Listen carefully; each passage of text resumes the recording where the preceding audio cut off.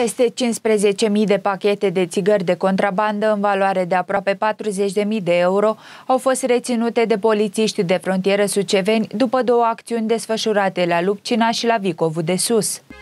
Astfel, potrivit celor afirmate de ofițerul pentru relații publice de la Poliția de Frontieră Suceava, comisar șef Ilie Poroh Serițan, un echipaj mixt format din lucrători de la sectoarele Brodina și Zvarele Sucevei, alături de lucrători de la Serviciul Teritorial Suceava, a efectuat marțea trecută în jurul orei 19 semnalele regulamentare pentru oprirea la control a unui autoturism de teren fără numere de înmatriculare care se deplasa dinspre frontiera de stat spre localitatea Lupcina. Șoferul nu a oprit și a continuat deplasarea în viteză, condiții în care s-a pornit în urmărirea acestuia. După aproximativ 2 km, mașina suspectă a fost descoperită abandonată pe un drum forestier, iar în interiorul acesteia au fost descoperite mai multe colete cu țigări. Autovehiculul a fost adus la sediul instituției, unde în urma inventarierii au fost înregistrate 14.710 pachete cu țigări din duty free, în valoare de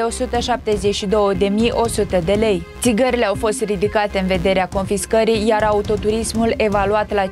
de lei a fost indisponibilizat, iar în continuare se efectuează cercetări sub aspectul săvârșirii infracțiunii de contrabandă.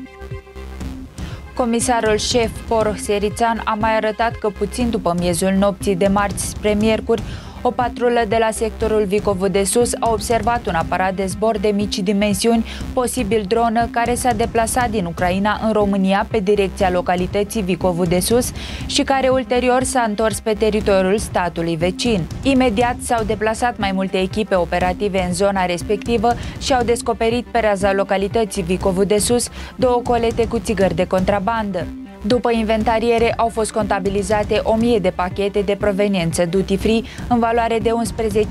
11.700 lei, țigări care au fost ridicate în vederea confiscării. Ofițerul pentru relații publice de la Poliția de Frontieră Suceava a precizat că polițiștii de frontieră efectuează cercetări sub directa supraveghere a unui procuror din cadrul parchetului de pe lângă judecătoria Rădăuți, sub aspectul săvârșirii infracțiunii de contrabandă.